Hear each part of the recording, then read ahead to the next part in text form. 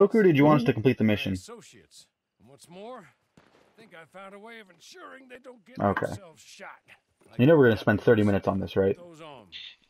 Hell, if you want, you can just watch me use the fucking LeMat revolver the entire time. Oh god, yeah, Death's on his new fucking weapon kick. I wonder if your poncho will clip through everything. I hope it will. Amos Lansing and Jeremiah I fucking hope so. But the dude, that helmet around the poncho, it is! Oh my god, it is! Australian, I believe. oh, oh, that's wanted to amazing, I love actually it. kind of works. That friends, actually does work, yeah, if it didn't clip through the coat. Bring us Teddy Brown. That actually looks fucking dope with the dark blue. I hope it stays like that. Ah, they blue balled us.